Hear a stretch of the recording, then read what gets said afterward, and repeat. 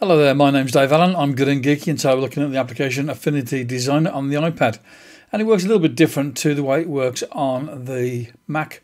So what we're going to do is we're going to look at how to skew and shear objects.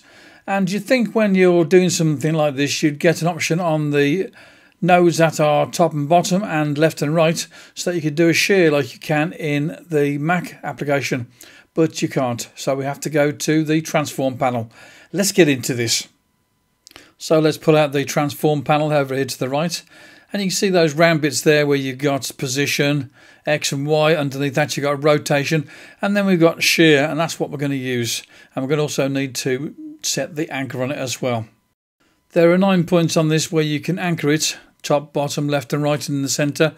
And we can make it so that it's going to be anchored from the bottom, for instance, and then skew it from side to side across the top.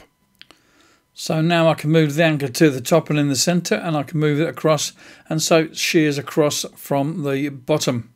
So if we move the anchor to the centre and then we do the shearing, it means that the shearing is going to happen across the top and the bottom, but the center will stay in the same place.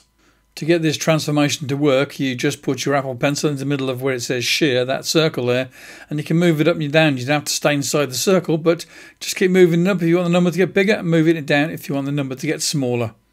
So now I'm doing the same as before, but with the top left-hand corner anchored, and then the rest of the thing is moving off to the left and right, depending on how I set those numbers in the shear circle.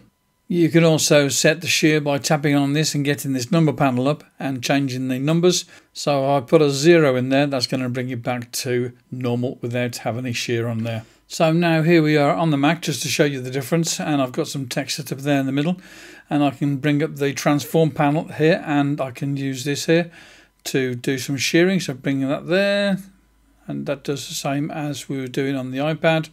We can change where it's doing the shearing from. The center point is going to be there this time and it's going around the center of the object.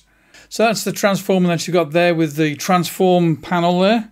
On the Mac, you've got these control handles on the top, bottom, left, and right. If you hover the cursor in just the right place, you get these skew and shear controls. So we can pull down on a node to make it skew that way.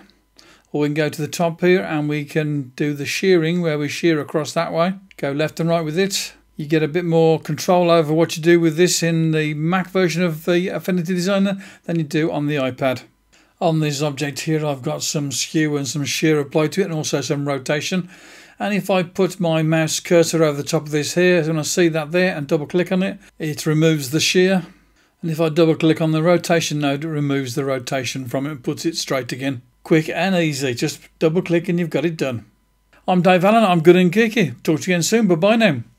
Don't forget to subscribe to the channel and put a like on there as well. Why not?